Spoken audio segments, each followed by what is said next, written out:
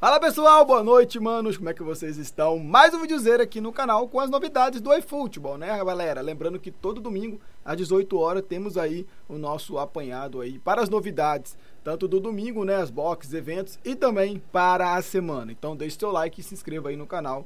É um prazer ter você com a gente todos os dias, tá, mano? Tem vídeos aqui, galera, 8 da manhã, meio-dia e às 18. O vídeo que você puder passar para dar uma moral, tá indo pro trampo, tá no busão, tá no carro de carona, obviamente, mano puder dar uma chegada e ficar por dentro do eFootball aí, deixar o like de vocês, se inscrever, vocês vão ajudar demais aí com o crescimento do canal. Muito obrigado aí a todos vocês que sempre são fenomenais comigo, tá? Vamos lá então aí algumas novidades para a semana aí chegando, atualização, novos contratos selecionados, os clubes voltando, Champions League da Ásia, mano. Vamos lá, vou mostrar para vocês aí algumas coisitas.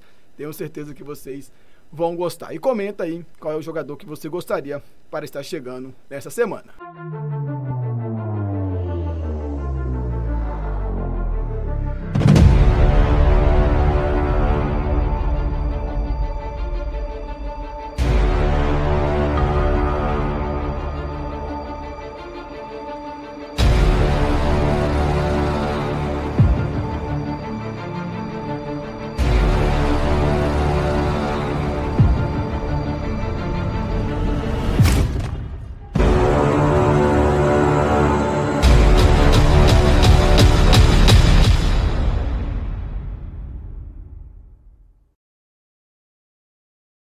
Beleza, galera? Então voltamos aí, mano. Jó, pra semana aí, então, né? A campanha Start, Stop, sei lá, enfim, né? A campanha que tá rolando aí, ela vai estar se encerrando, tá? Porém, ainda, ao invés agora de chegar My Clubs, essa semana vai ser 7 login de GP, além desse tirinho grátis aí está chegando. E uma provável nova campanha deve estar chegando no game também é, nessa quinta-feira. Por quê? Porque é, essa campanha se, se, encerra né, e começa uma nova temporada, vamos é, assim dizer. Tá, mano? O que tá pegando nessa atualização que a Konami prometeu aí, tá?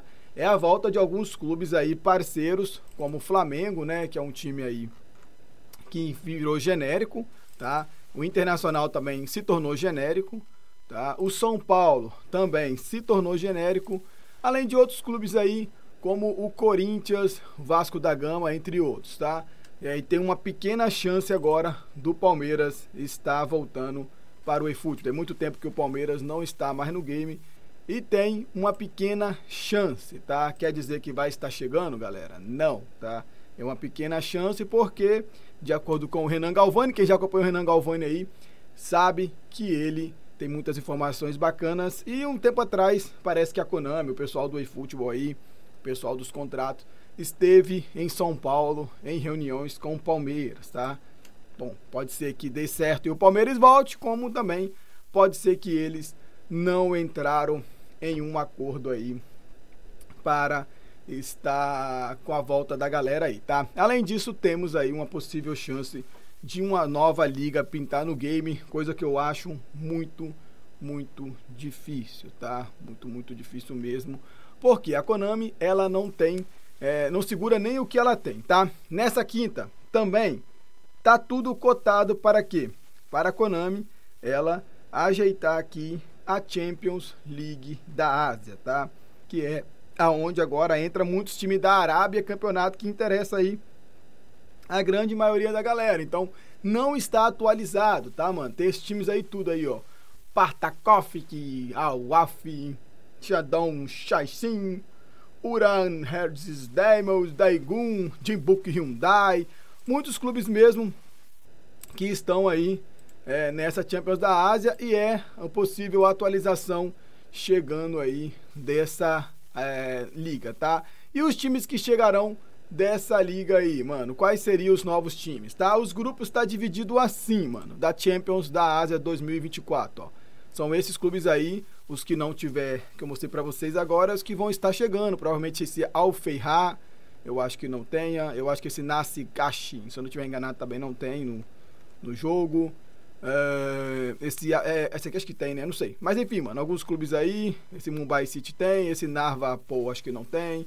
O Al Nassi vai chegar, né? Time do Cristiano Ronaldo, então é um time que muitas pessoas aí aguardam. Muitas, pô, Cristiano, Mané, Brozovic entre outros jogadores bem tops aí, o próprio time do Neymar também, que passou aqui em cima, o Al Hilal, né? Também está nessa barca aí. Temos aqui o La o Kit acho que tinha ou voltou, não sei. O Shandong aqui ainda tá aqui. Enfim, mano, tem vários clubes aqui que serão atualizados também, ou a gente espera nessa semana, tá? Então, bom, Mano, é o, é, é, o campeonato que eles têm o direito de imagem, tá? E não conseguir trazer atualizado nem esse campeonato aí, galera. Aí tá complicado, tá, mano? Aí tá complicado mesmo. Os caras não conseguir trazer nem o campeonato que eles têm aí atualizado. Aí fica difícil até o Barãozeira aqui defender, tá? Ah, Barão, ligas que você citou, você acredita? Não, mano. Não. Eu não acredito de um, um tipo, qualquer novo tipo de liga aí está chegando no game. Sinceramente, eu não acredito. Tá? Vai ficar com essas daí mesmo e pode voltar aos contratos das ligas que perderam aí a licença, como também a Liga da Bélgica, tá? Chegar qualquer tipo de liga para mim seria uma surpresa tremenda mesmo, tá, mano? Seria uma surpresa tremenda, tá? E com isso, se realmente se concretizar aí a, a atualização, mano, os passes de partidas aqui, tá? Vai se encerrar na quinta também, que são o passe de partida que você consegue até quatro jogadores grátis. Um de cinco estrelas, que seria o mais top, o de quatro estrelas, que seria o mais ou menos, e o, digamos que piorzinho, que é os de três estrelas, tá? Então, mano, ainda essa semana vai sair um vídeo completo, mas vou trazer alguns nomes para vocês aqui que vocês podem esperar chegar nessa nesses contratos, tá? É, para quem já sabe, já saiu aí os meios de temporada, e o fim de temporada, tá? Ainda não saiu nenhuma é, tipo de jogadores de início de temporada. Então, uma provável box essa semana ainda vai sair para vocês. Fortes nomes que a Konami pode estar aproveitando, tá? Como o Benzema aí, que está lá no time da, dos Emirados lá fora lá, Al Hartirat, tá? O próprio João Cancelo, a Konami também pode estar aproveitando aí para trazer. O, San, o Mané, falei Sané, o Mané também está no Alnassi, vindo para o game agora. E não se esqueça do adulto Ney, tá? Que além de embaixador aí, obviamente, né? É um forte candidato para estar chegando também. Você acredita é, que será esses inícios, mano? Não, não é que eu não acredito, é que a Konami sempre deixou claro que vai sempre trazer cartas novas. A gente traz aqui uma base e uma especulação, tá? Inclusive já tem um novo vídeo aqui no canal que eu já trouxe. Por quê? Em outubro de 22 foram jogadores de contrato de transferência. Eu vou deixar fixado para vocês aqui a box, né, de novos contratos de transferência aqui para vocês aqui embaixo, tá? Porém, não quer dizer também que seja contrato de transferência. Pode ser um início de temporada aí é, que a Konami nos traga dessa vez, tá? Pode ser o início de temporada. Mano, são, ela quer ganhar isso aqui, tá? Infelizmente ela quer ganhar isso aqui. Realmente é, tá ficando complicado até mesmo defender, mano. Eu tento, eu me iludo, mas realmente tá ficando complicado até mesmo a gente defender, tá? Outra questão é o que? A lojinha. Eu não vou, eu vou dar, vou começar a dar risada porque vocês já sabem o que vai acontecer, né? Lojinha por eFootball Points, mano. Isso mesmo, tá?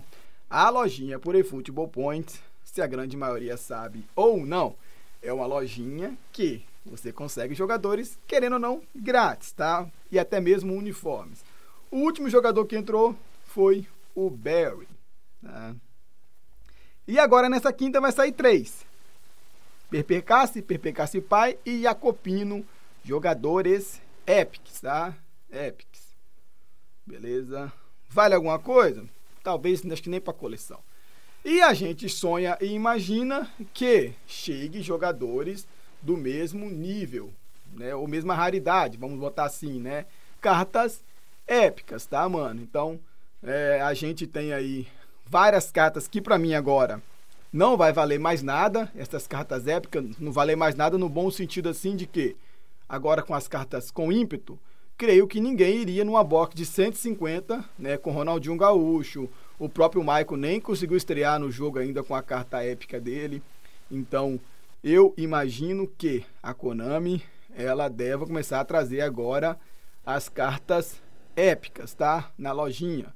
Pode ser que venha o Ronaldinho para fazer uma graça, pode ser que venha o Maicon aí, ou até mesmo o Gilberto Silva para fazer uma graça, tá? Porém, né, como é Konami, você pode esperar essa daqui, ó. Por se tratar de Konami, tá? Parque Jinsung, Sono e Cubo, cartas lendárias, que essa sim, né, ninguém nem usa mais, né?